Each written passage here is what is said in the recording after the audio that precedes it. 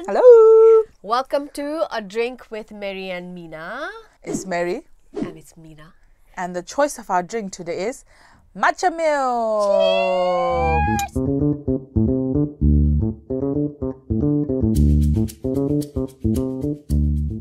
Ah, it's really good.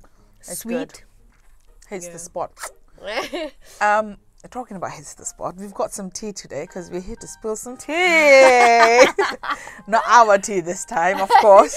Our audience is tea basically. Yeah. Mm-hmm. Um, but it will be anonymous. Don't be scared. Like we don't air your laundry, dirty laundry out just like that. Exactly. We probably don't even remember who sent who because we try not to look at the person. We just like, yeah. you know. Today's episode is quite deep.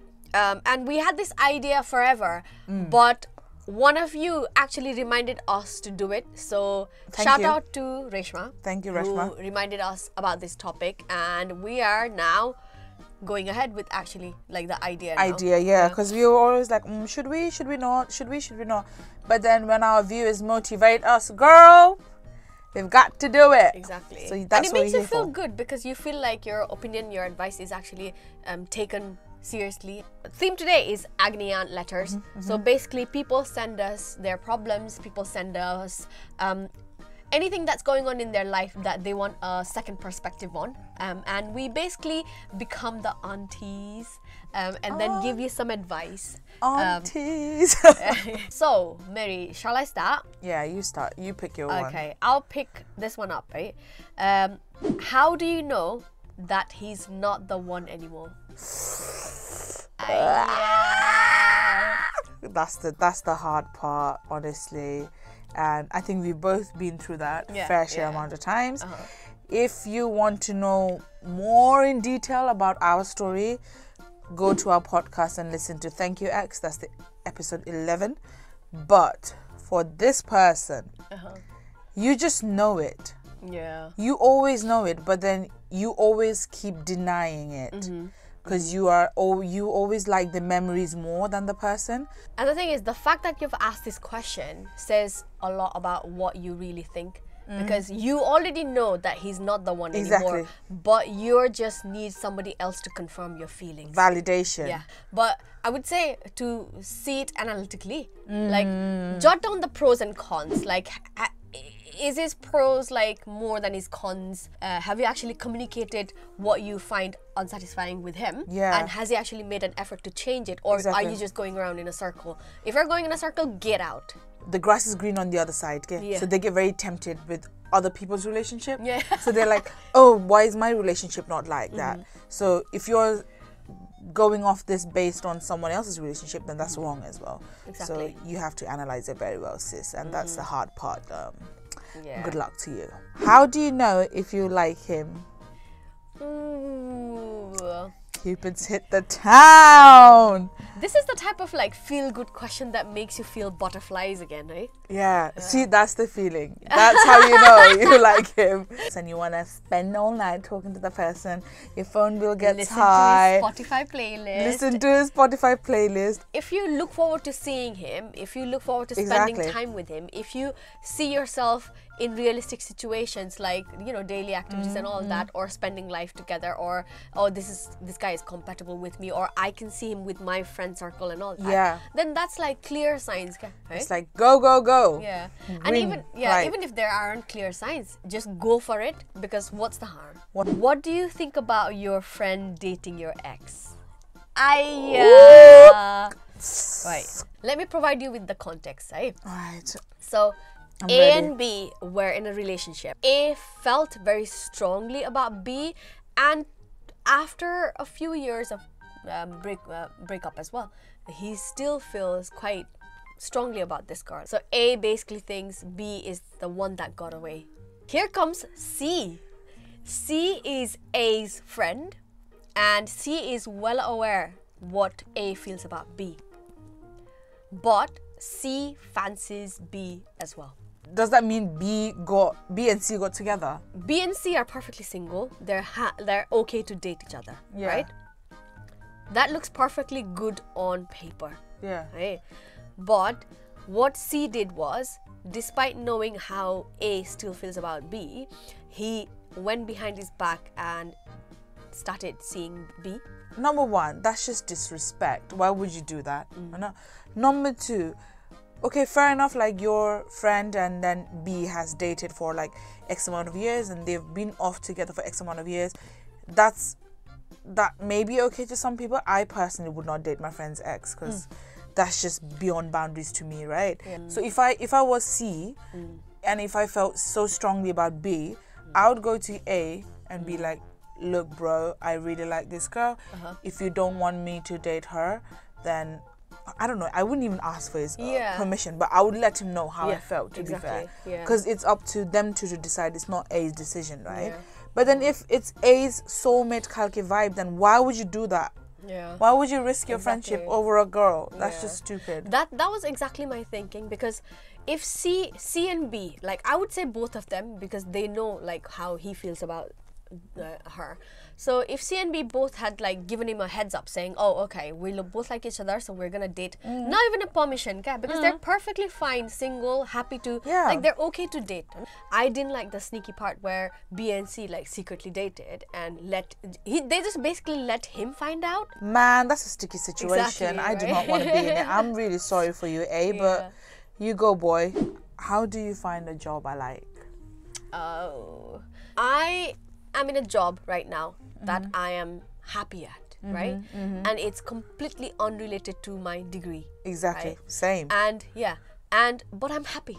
Like I'm the type of person who jumps every Ships. two to three years. I jump into a new sector Mm-hmm. because I'm still looking for the type of job that I would love. Like you know, for like I'm still looking for my forever job, but I'm not. Yeah, yeah, yeah. You know what? This is actually quite funny because you and I are similar in that context. Mm. Because um, in this one workshop we had, you know, there was a category for people like us, the freedom seekers. So we don't like to ah. sit in one place for too long. Yeah, Because yeah. we don't want to get comfortable, and Exactly. that that makes us uncomfortable to be comfortable. Sis, your job should not be the main priority of your life, to be honest. True. You don't. You don't take that this- to your yeah, grave. Yeah, exactly. And you're just a number at work. Your work should be what pays you to do whatever you like. You like. Yeah. So don't give job that big of a priority. I mean, if you want to, go for it. You know, I don't want to be the type of person who goes home and then talks about the work as well. Yeah. to be like this is what I mean. Like, um, we are not saying money is important. Money Yeah. is very important. Money Exactly. Mm. actually runs the world, as we may have already known.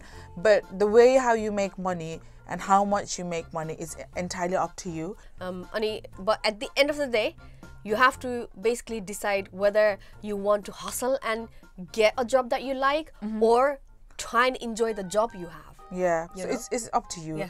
Again, that all comes down to how much you want Mm. your income to be, and then it's just about all about your ambitions, really. how to tell your friend to move forward from clingy ex Oh my God. it's pretty fucking simple for me just remind yourself why he's your ex or she's your ex you know True. Mm. that should fucking answer your question sometimes the kindest thing that you can do to a person is let them go you know? Because the, then they will have to face reality and move on with things you know? You're basically if you're being if you're coddling them and if you're accommodating their feelings while they're being clingy at you Mm-hmm. then you are actually contributing towards um, hampering their progress in Exactly. life Him trying to come back to you and be clingy, that's sort of like abuse in a way as well. Emotionally abuse. Mm. Exactly. It is like Manipulation. Yeah, Yeah. manipulation. So much stress. Like, you don't need that. Like you said, he's ex for a reason. Let him be an ex and not be in your life anymore. move Move on. on. How do you get confidence? Sisters, that's what the person's put. How do you get confidence, sisters? First of all, thank you because this opinion is actually a compliment for us because this person clearly thinks that we're confident. you don't know what's what goes behind all this confidence To and be all this facade. To me, Malaite, I think confidence comes from practice. Yeah. like fake it till you make it vibes and then you don't grow from a comfortable place Mm. so i've thrown myself in like very awkward situations multiple times so i think that's where my confidence kind of came from Yeah. i guess You don't get confidence, love. You build, Build one. it. You know. 100% And I have been, I guess, I've had so low self esteem in the past, right? Mm-hmm. And it slowly took a lot of effort, a lot of hard work into pushing myself into different uncomfortable situations, just like you. Yeah. It takes time, honestly. Yeah, exactly. Mm. Meanwhile, you invest in yourself, you invest in your skills, you invest in learning new things. You know, that's where your confidence comes from when you start believing in yourself, no matter who Yeah. does not believe in you. It that's where your confidence comes from. How do you live in the present fearlessly? It's it just takes practice because life's a journey, you know. It's a long journey. Yeah. if it's a long journey, if you're miserable, it's a short one if it's you have fun. she, you know what? You spoke like you've lived like fucking hundred years. it felt like hundred years. No, because like when you're going from the lowest of your life to trying to progress where you want to be, it's exhausting. I'm telling Mm. and you. like- frustrating at times. Yeah, so many times. and it's frustrating for the people around you as well. To live fearlessly in this day and age, like how you want to. What is your fearless? Yeah. That's the question as well. Mm. Is it actually like you facing your fears or you just being confident like the Yeah, other yeah. person else and just like, you know, being out there in the world? Yeah. Um I've been on a journey of facing my fears for God knows how many fucking long. so it's been an ongoing battle. tries. It It's always with. Mina Didi because she brings out this uh, another side of me. She's like, God him, God him. And I'm like, yeah, fuck it. And then I always regret it. And I always shit myself, but I still do it anyway because I don't like to remember how bad the last time was. Because this will be a new bad, right? So you don't bring your past trauma in. I guess that's how you live fearlessly. Mm. Yeah. And my my uh, one of my biggest mantra, like oh my god, look at us sharing Mantra One with some my- taste. I close my eyes and I think about the worst case scenario. yeah.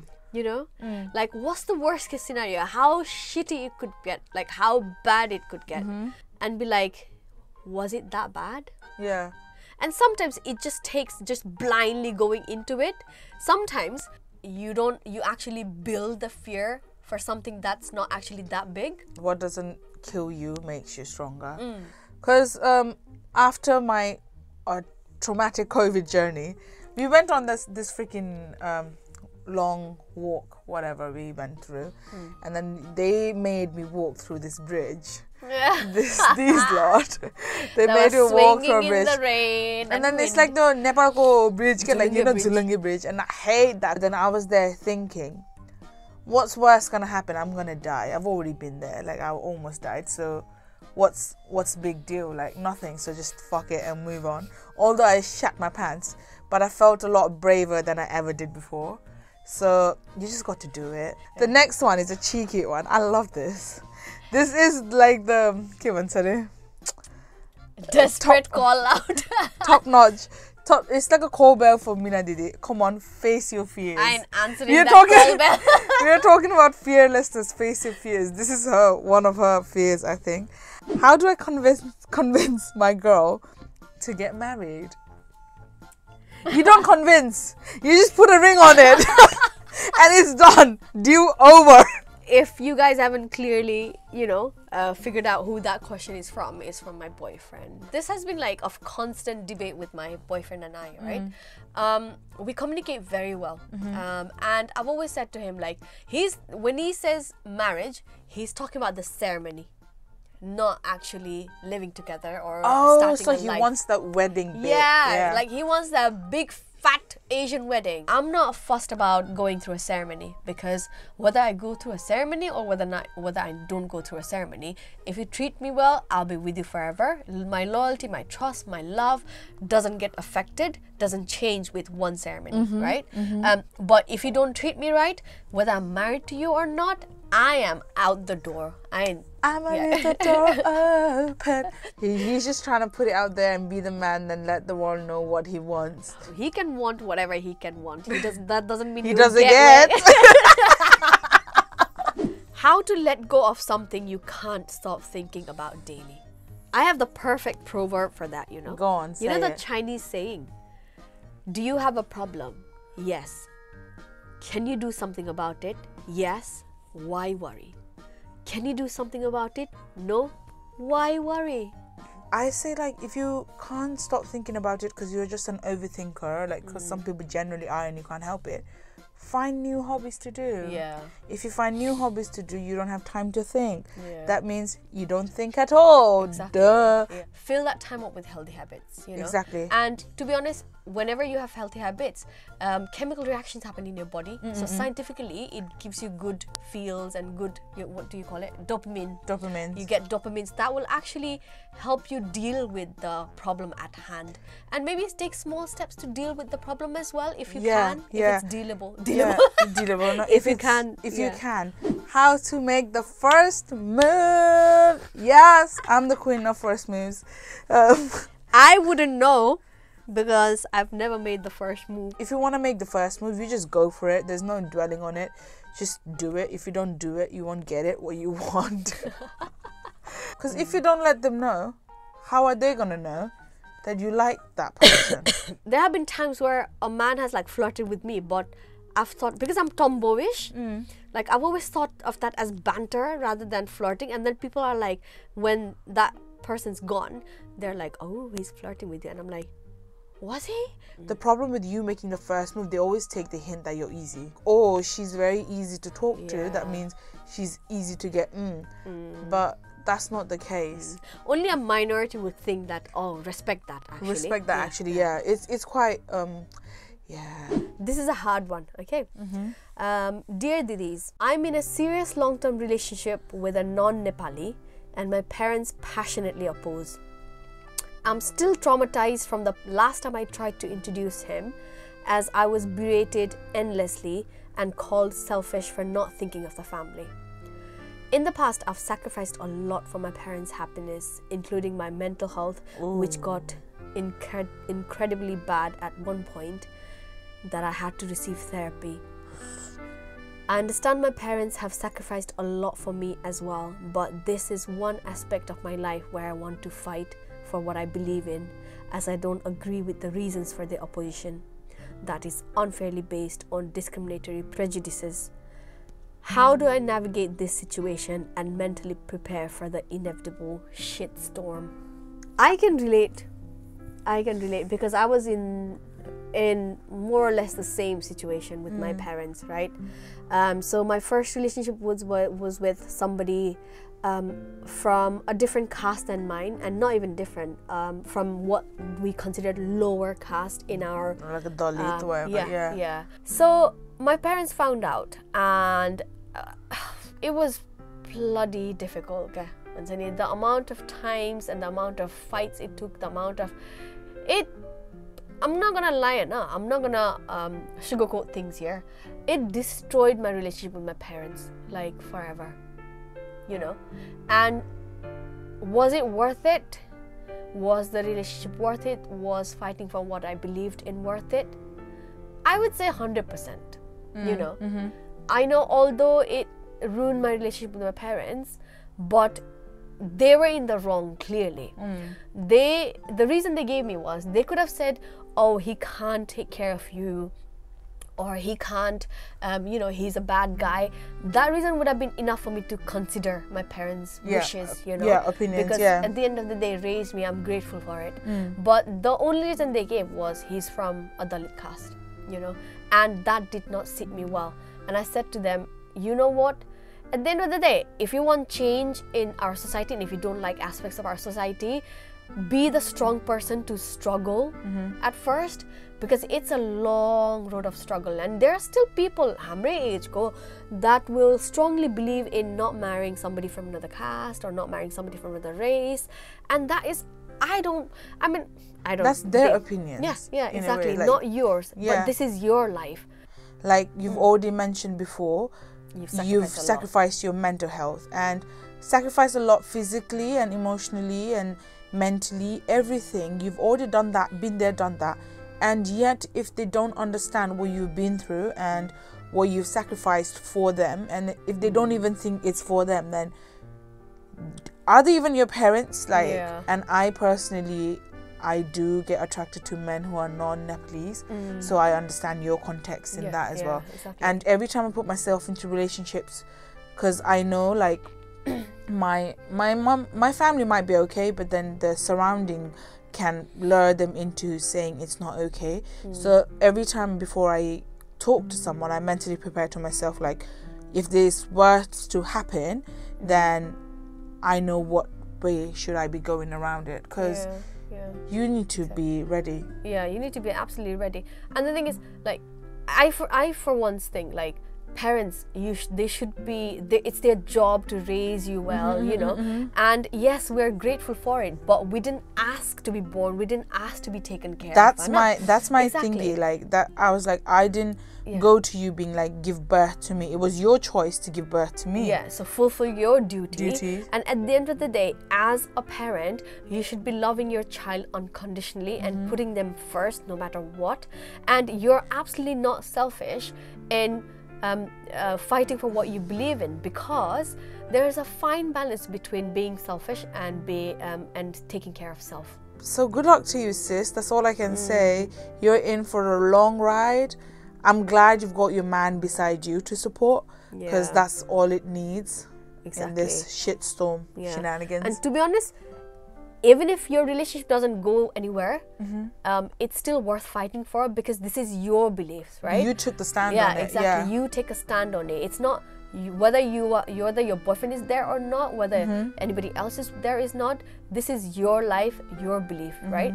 At the end of the day, you would have learned something from it, and you would have you will come out stronger. It's gonna be a, yeah, exactly. You said long ride. Mm-hmm. Long it's ride, A it's long, a long ride. hard ride, and you're gonna cry and cry and cry. you choose your rides. That's Yeah, it. Like yeah. it's a it- life is a long journey. You choose what you want because whatever you pick, you're adding values to your life, not theirs. And if you back down now, what else are they gonna ask you to back down from? Yeah. And if you sacrifice yourself for them, later on, if you're not happy, you'll only blame them. Yeah, and it's that's gonna be it's gonna be sour. It's a nasty journey. Yeah. You don't want that. you don't want that. so we are hundred percent behind you because Go, we girl. believe in you. So if this like shitstorm happens, and if you need a shoulder to cry, some drinks, uh, we've got you sorted. You can come along anytime. That's it. yeah, I think that concludes to our agony aunt section. oh my god, I hope you liked it. Yeah, I feel like we've gone so deep today. I actually, I, I never thought we would go this deep and would come up with like this many um, opinions and advices on a wimp like this. Okay? From people. From- Th- yeah. that is true. That's very true. And then thank you guys for sending your questions in. That Mm-hmm. was a fearless move in itself. Yeah, exactly. Like, uh, yeah. you guys want the world to know. Obviously, you don't. We don't know who the person is, but Yeah. you want the world to know about your Yeah. issues and concerns, and that just connects more people who are going Yeah. through the same things as and you. it's nice because we've always wanted this channel to be a safe space to open up about your Exactly, uh-huh, vulnerabilities you know. Um, and if you want to hear the full episode this is just a short version. If you want to full, hear the full episode then go on to any major platforms like podcast platforms Podcast like platform. spotify google um, podcast apple podcast whatever there is out there. Um, and this episode has already been aired out on 18th if you've already heard it on the podcast itself, Mm. this is what we look like. right so anyway thank you for tuning in Thank you for tuning in. Bye.